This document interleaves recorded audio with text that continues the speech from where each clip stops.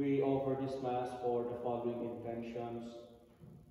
We continue to pray for the special intentions of uh, the Gonyville family, offered by Aline and Denise Martin, for the speedy recovery and well-being of Albert Amiot. And we also pray for thanksgiving for the goods of the earth and for the continuous well-being and healing of all the sick and for the stop of the spreading of the coronavirus and for the safe travel of all the travelers today. In the name of the Father, and of the Son, and of the Holy Spirit. Amen. The grace of our Lord Jesus Christ, and the love of God, and the communion of the Holy Spirit be with you all. Your spirit.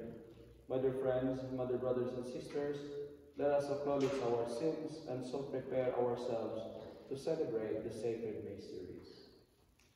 I confess unto you, my brothers and sisters, that I have greatly sinned in my thoughts and in my words, in what I have done, and what I have failed to do.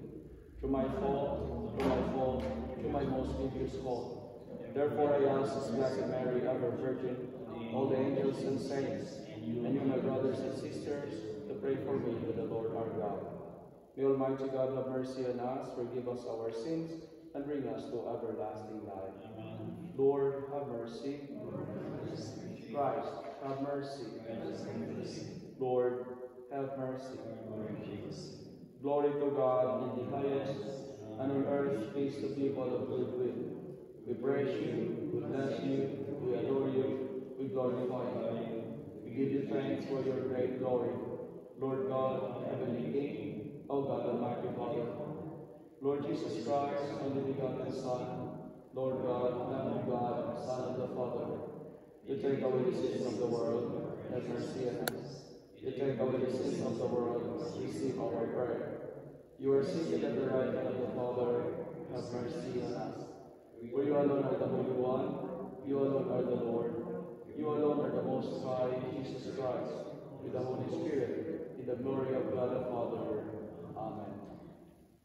Let us pray. O God, who on the solemnity of the apostles Peter and Paul, give us the noble and holy joy of this day. Grant, we pray, that your church may in all things follow the teaching of those through whom she received the beginnings of a right religion. Through our Lord Jesus Christ, your Son, who lives and reigns with you in the unity of the Holy Spirit, God, forever and ever. Amen.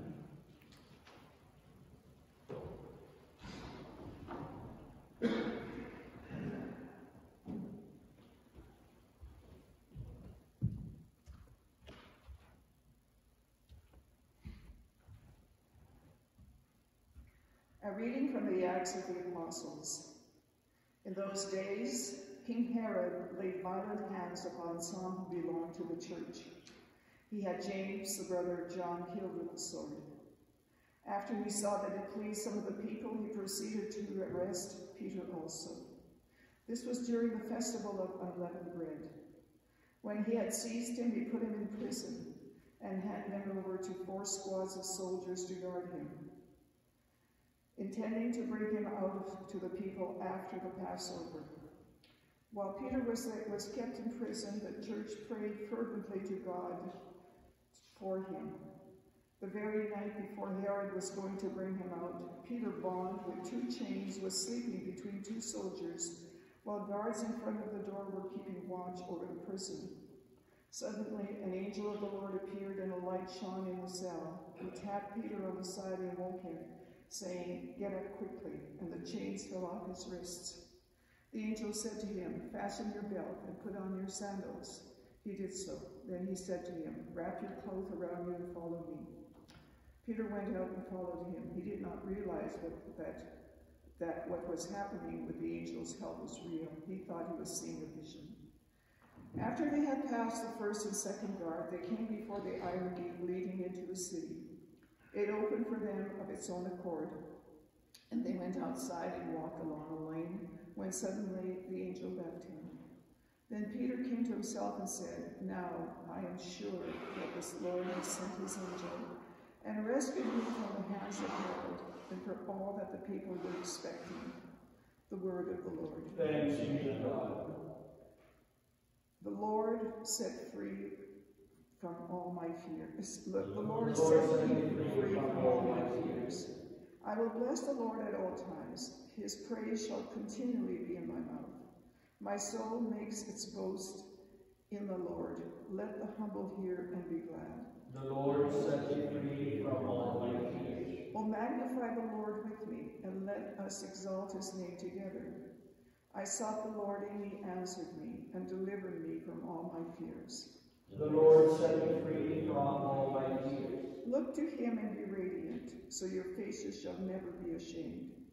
This poor soul cried out and was heard by the Lord, and was saved from every trouble. The Lord set me free from all. The Lord, uh, the Lord, the angel of the Lord encamps around those who fear him, and delivers them. O, o taste and see that the Lord is good, and happy are those who take refuge in him.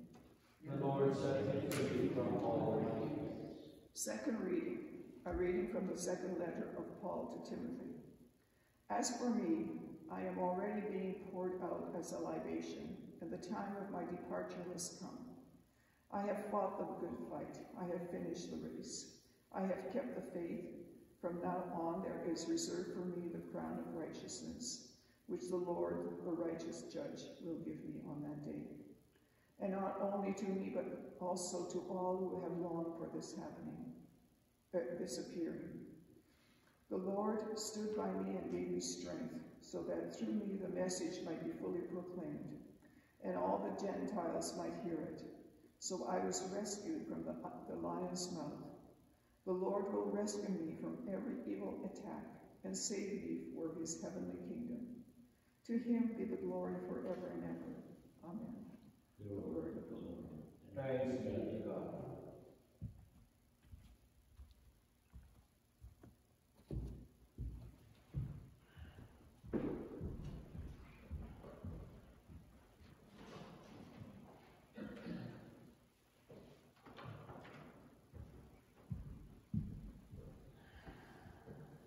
The Lord be with you.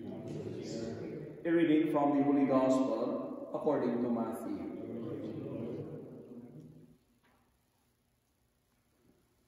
When Jesus came into the district of Caesarea Philippi, he asked his disciples, Who do people say that the Son of Man is? And they said, Some say John the Baptist, but others Elijah, and still others Jeremiah or one of the prophets. He said to them, But who do you say that I am? Simon Peter answered, You are the Messiah, the Son of the living God. And Jesus answered him, Blessed are you, Simon, son of Jonah, for flesh and blood has not, has not revealed this to you, but my Father in heaven.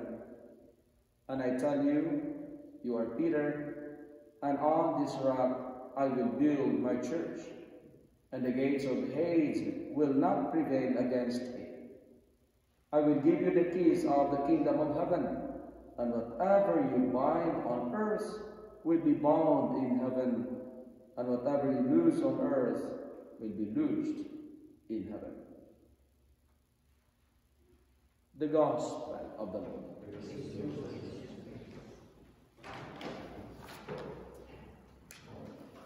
Good morning, my dear friends. Today is uh, June 29, and today we celebrate the solemnity of uh, Saints Peter and Saint Paul. And the church described that Saint Peter and Saint Paul are often described as the pillars of the faith. That's why if you go to some churches, you can find their images in front, Peter and Paul. What is interesting in the life of these two great men is this. Both of them were sinful, weak, and fragile and filled with human limitations. But they were called to spread the faith. They were called to strengthen their Christian community. My friends, my brothers and sisters, the feast of these two wonderful followers of Christ reminds me and you that God can work through frail, that God can work through weak and sinful people to establish His kingdom on earth. We celebrate the solemnity of Peter and Paul to remind us that, like them, allow God to show His strength in your weakness. We have our limitations, we have our weakness, but allow God to work to show His strength in your weakness. Because admitting our limitations, admitting our weakness, does not diminish our strength. Like Peter and Paul, we are challenged today to use our weakness as a stepping stone to build and to spread God's kingdom on earth. We have our weaknesses, but what our second reading is trying to tell us, keep the faith and finish the race. Continue. And the second point that I would like to share today is this. We have to magnify our strength, not our weakness. Magnify your strength. Focus on your strength, not on your limitations. Paul, he was a former persecutor of the Christian, but he was used by God to spread the faith. Can you imagine you are a murderer and those who believe in Christ, you killed them. But at the end, you were used by God to spread the faith. The church that you destroyed before, you are now the one defending it. And even the life of Peter, I called him the denial king. And that was his weakness. He keeps on denying and denying. He is a man who acts without thinking act without thinking. But he was chosen as the head of the apostles. Today, we are challenged. Our weakness, our limitations, our sins is not a hindrance to be good. Our limitations is not a stumbling block to make the power of God operate in us. Keep the faith, finish the race. Embrace your faith, embrace your weakness to reach your strength. Because I believe we are strong when we know that we are weak. God's grace works in the life of weak people. That's why our responsorial psalm for me is very powerful. And it is telling us, ask the Lord to free us from all our fears. Today, my dear friends, my dear brothers and sisters, the good news is this. We are sinful. We have our own limitations. But do not magnify your sins. Do not magnify your weakness. Do not focus on your limitations. Magnify your strength instead. We are sinful, we are weak, but like Peter and Paul, allow God to shine in our weakness. Finish the race and keep the faith alive. Saints Peter and Paul, pray for us. Amen.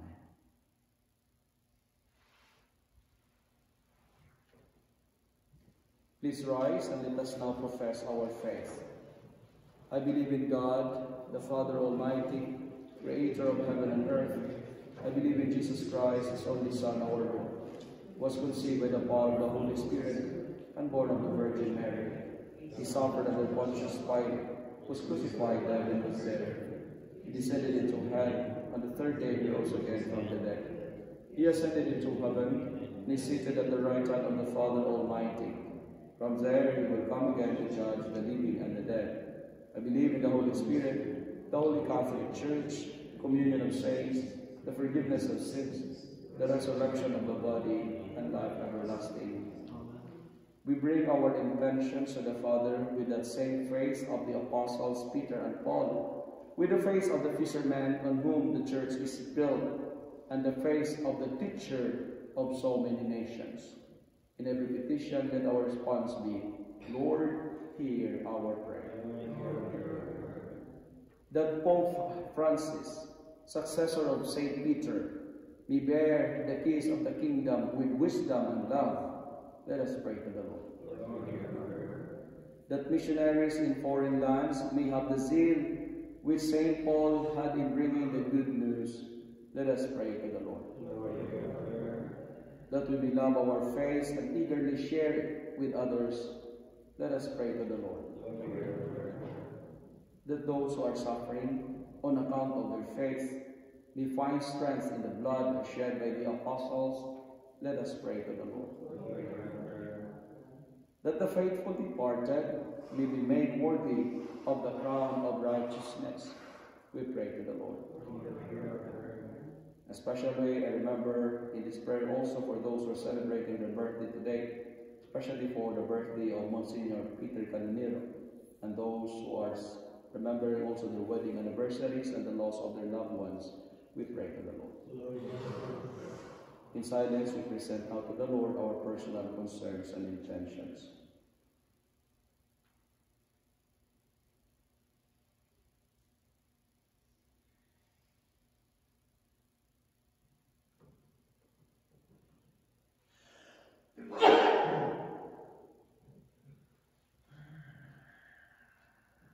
Almighty God and Father, hear the prayers of this community gathered in the face of the apostles and helped by their intercession.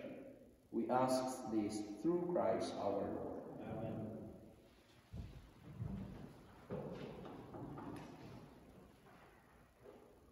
Blessed are you, Lord, God of all creation, for through your goodness we have received the bread we offer you.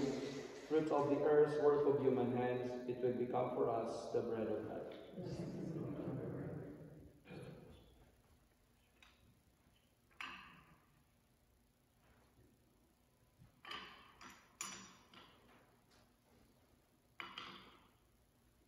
Blessed are you, Lord, God of all creation, for through your goodness we have received the wine we offer you.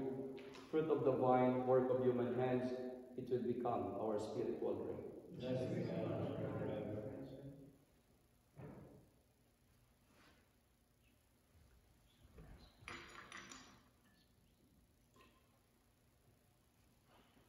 Please stand. Pray, my dear brothers and sisters, that my sacrifice and yours may be acceptable to God, the Almighty Father.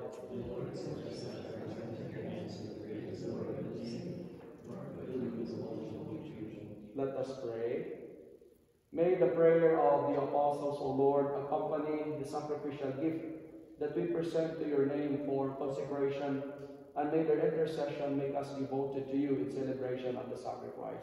Through Christ our Lord. The Lord be with you. Lift up your hearts. Let us give thanks to the Lord our God. It is truly right and just, our duty and salvation, always and everywhere to give you thanks, Lord, Holy Father, Almighty and Eternal God. For by your providence, the blessed apostles Peter and Paul brings us joy. Peter foremost in confessing the faith, Paul, its outstanding preacher, Peter who established the early church from the remnant of Israel, Paul, master and teacher of the Gentiles that you call. And so, each in a different way, gathered together the one family of Christ and revered together throughout the world. They share one martyr's crown, and therefore, with all the angels and saints we praise you without end, we acclaim. Holy, holy, holy,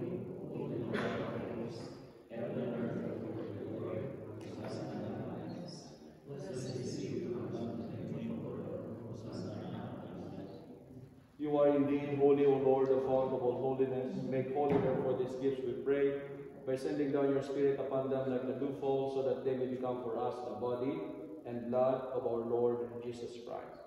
At the time he was betrayed, and after giving into his passion, he took bread and giving thanks, broke it, and gave it to his disciples, saying, Take this, all of you, and eat of it, for this is my body, which will be given up for you.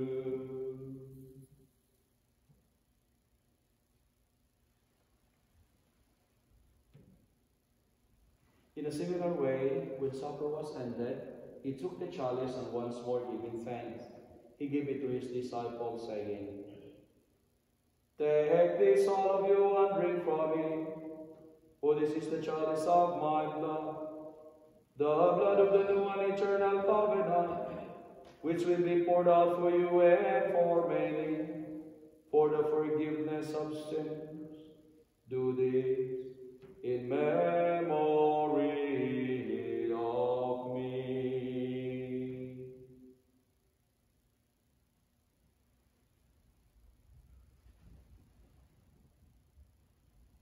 The mystery of faith.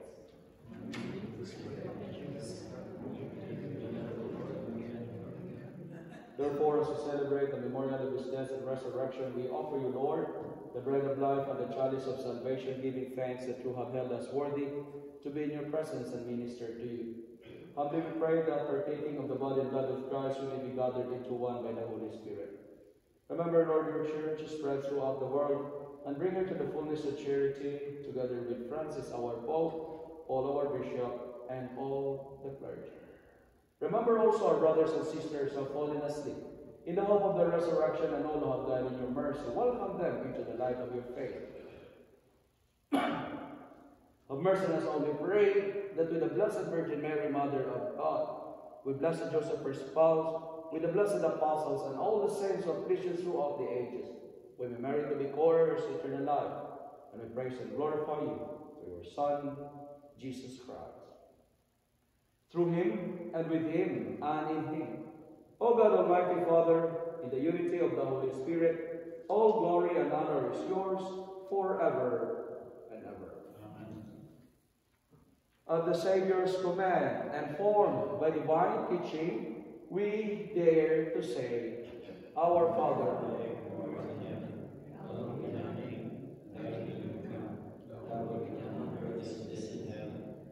Give us this day our daily bread, and forgive us our trespasses, as we forgive those who trespass against us. And lead us not into temptation, but deliver us from evil. deliver us, Lord, we pray, from every evil. Graciously grant peace in our days, that by the help of your mercy we may be always free from sin and safe from all distress, as we await the blessed hope and the coming of our Savior, Jesus Christ. For your kingdom, the power, and the glory are yours now and forever. Lord Jesus Christ, who said to our apostles, Peace I leave you, my peace I give you, look not on our sins, but on the face of your church, and graciously grant her peace and unity in accordance with your will, who live and reign forever and ever. Amen. The peace of the Lord be with you always. Let us offer each other the sign of peace.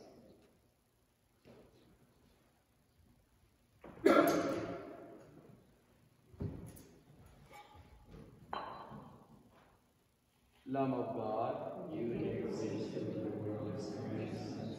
Lamb of God, you take the sins of the world, and righteousness. Lamb of God, you take away the sins of the world, and peace. behold the Lamb of Behold him who takes away the sins of the world. Blessed are those called to the supper of the Lamb.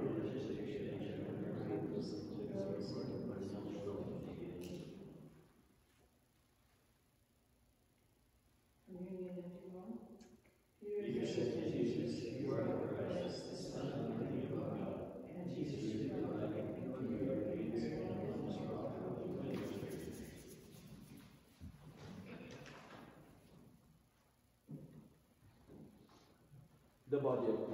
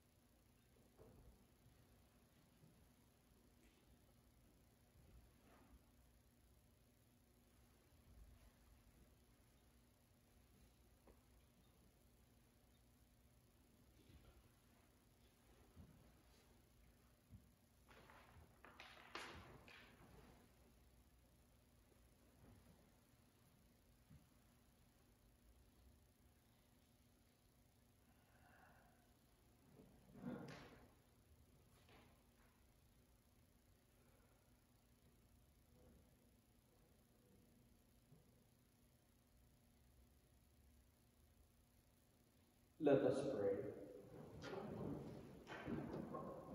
Grant us, O Lord, who have been renewed by the sacrament, so to live in the church that persevering in the breaking of the bread and in the teaching of the apostles, we may be one heart and one soul, made steadfast in your love, through Christ our Lord.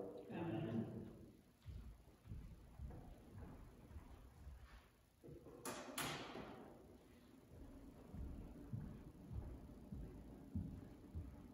Prayer against coronavirus. Almighty merciful Father, we thank you for the life that we shall give, for the providence that sustains us, and for wisdom that direct the course of our days. Forgive our sins against your love, against each other, and against your creation. The threat of an infection of coronavirus is upon us today. This disease causes fear among us and has claimed some lives. We humbly beg you, loving Father, to deliver us from these and other diseases. Heal those afflicted and stop the spread of the virus. Strengthen us in charity, care for each other. We ask this, our Lord Jesus Christ, your Son, who lives and reigns with you and the Holy Spirit, one God, forever and ever. Amen. My dear friends, my dear brothers and sisters, today, always magnify your strength, not your weakness, not your limitations. Because, and always remember, even though we are weak, even though we are fragile, God's grace will always work in us. Just keep the faith and finish the race. Because in a moment of persecution, like Peter, God will give us an angel to guide and to help us. The Lord be with you. And we you. And may Almighty God bless you, the Father, the Son, and the Holy Spirit. Amen. The Mass is ended. Go in the peace of Christ.